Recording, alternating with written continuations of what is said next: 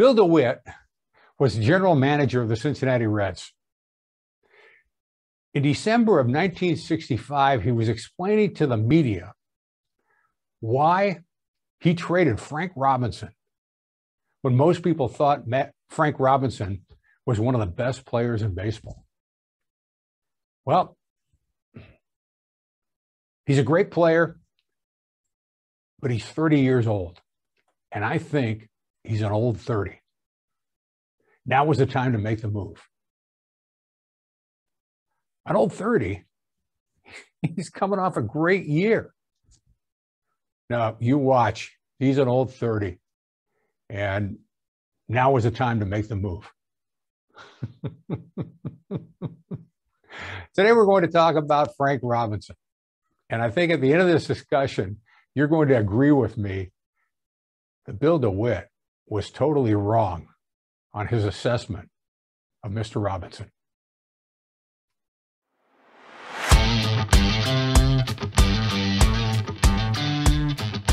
Welcome to Productive Discourse. Productive Discourse is a conversation where we talk about the positive actions that take place within our communities. In other words, we're constantly searching for our shining needle of common ground in that haystack of fear. Today, we're continuing our conversation on the great athletes that got their starts on the playgrounds and sandlots of Oakland, California. We're talking about athletes that exhibited what I call the three E's energy, enthusiasm, and excellence. Into their passion where many turned pro and won championships. Some were elected to their sports halls of fame, and a good deal of them came back and serve their community. Today, we're going to talk about a McClymonds High School warrior, Frank Robinson, who knew how to win championships. He teamed up at McClymonds High on the basketball team with NBA Hall of Famer Bill Russell. On the baseball team, he teamed up with another Major League Baseball legend, Curt Flood.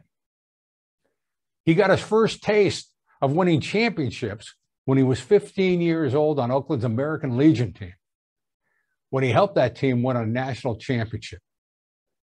After graduating from a McClymonds High, he went into baseball as a profession and was a rookie in 1956 with the Cincinnati Reds.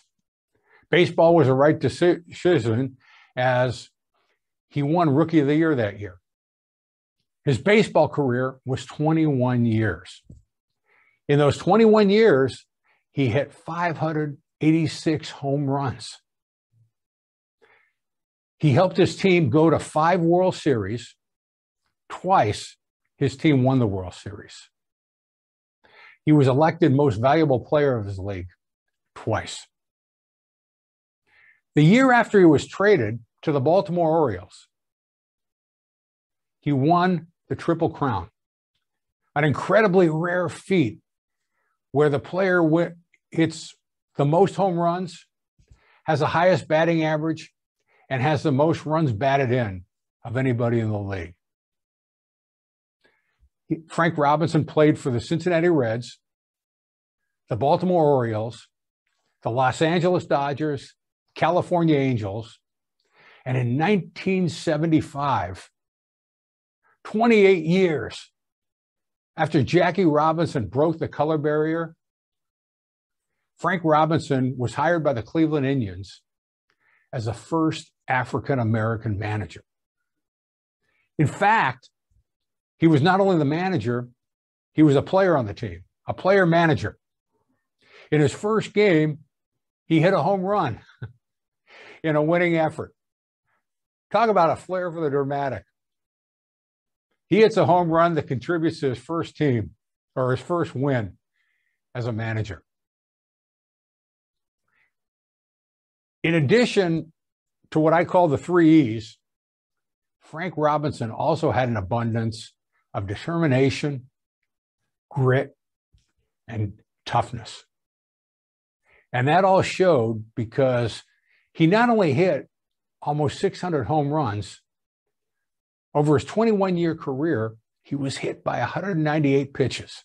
Could you imagine almost 10 times a year getting hit by a pitch? But he pressed through. And after a successful career as a player, a successful career as a manager, he went to the major league front office where he served in several executive positions and work closely with Commissioner Bud Selig. Off the field or outside of baseball, in 2005, President George W. Bush awarded Frank Robinson the Presidential Medal of Freedom. Now, an interesting side note President Barack Obama in 2012 presented the Presidential Medal of Freedom to Frank Robinson's classmate, Bill Russell. How many high schools do you know have two people from the same class that got a Presidential Medal of Freedom? Now, Frank Robinson passed at the age of 83 in 2019. In a nutshell, Frank Robinson was a McClymonds High warrior who made us proud. He had an impact inside Oakland and abroad with determination, grit, and toughness. We were wowed. I so much enjoy talking about these great athletes out of Oakland. I hope you enjoy it too. We're going to be back next week and we're going to talk about Frank Robinson's classmate, Bill Russell. I hope you enjoy it. If you'd like to know more about what we do, please go to productivediscourse.home.blog. It gives great information about our activities and how you can contact me if you'd like me to speak at your service club, community organization, your religious group, or your Toastmasters club.